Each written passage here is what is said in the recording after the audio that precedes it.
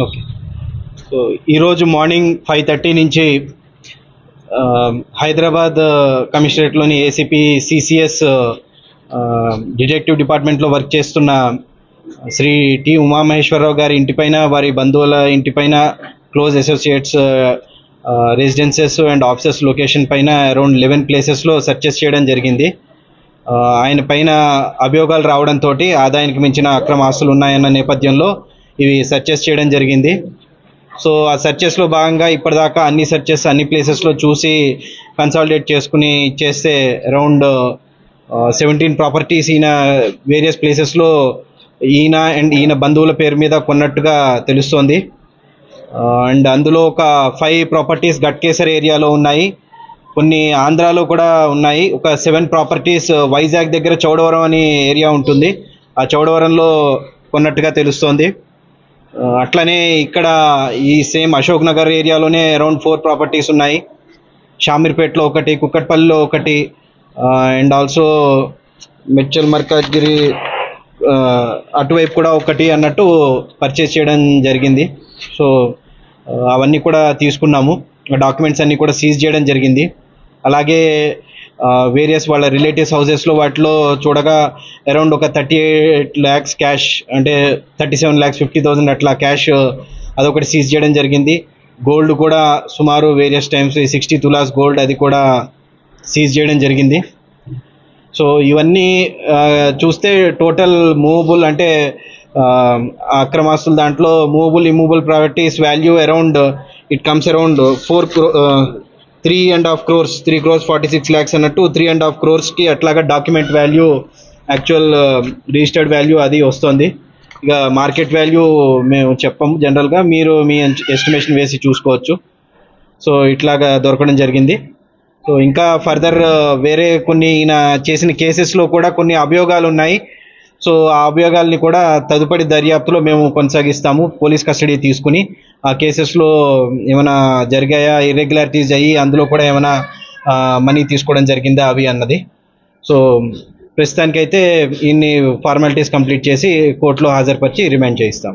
Sir cash ఎంత పడుతుంది cash thirty seven lakhs fifty thousand ఇక్కడ అంటే ఇక్కడ మూడు హౌసెస్ ఉన్నాయి వాళ్ళవి వాళ్ళ రిలేటివ్స్ అందులో. మిగతా ఏడు చోట్ల క్యాష్ కానీ గోల్డ్ కానీ లేదు అక్కడ లేదు ఇక్కడే దొరికాయి బ్యాంక్ లాకర్లు ఎన్ని గుర్తించారు సార్ లాకర్లు కొన్ని దొరికాయి అరౌండ్ టూ లాకర్స్ దొరికాయి సో అవి ఇంకా చూడాలి ప్రస్తుతం సిబ్బంది అంతా ఇక్కడే ఉన్నాం కాబట్టి రేపెల్లుండిలో అవి వెరిఫై చేస్తాం ఫ్రీజ్ చేయించేసాం ఎస్పీ స్థాయి అధికారి పేరు బయటకు వస్తుంది డైరీలో అలాగే సహకరించలేదు ఏసీబీ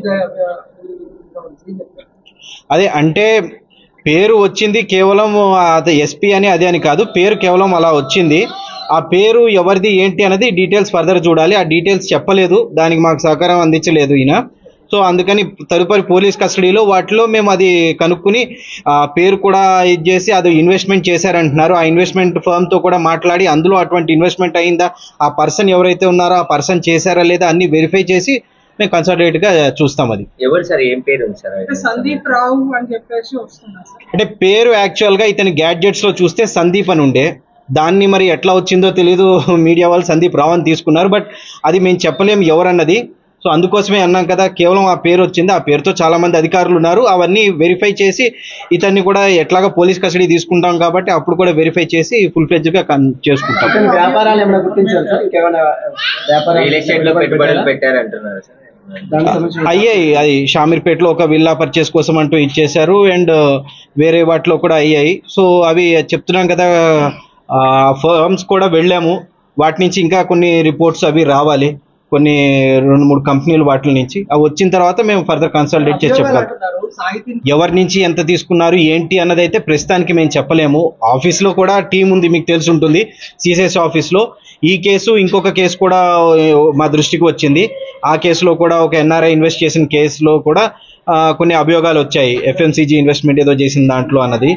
సో ఆ కేసెస్ వివరాలు తీసుకుని తర్వాత వాళ్ళని పిలిపించి ఎగ్జామిన్ చేసి ఏమైనా అయ్యిందా మీరు అన్నట్టు అన్నవి వెరిఫై చేస్తాం.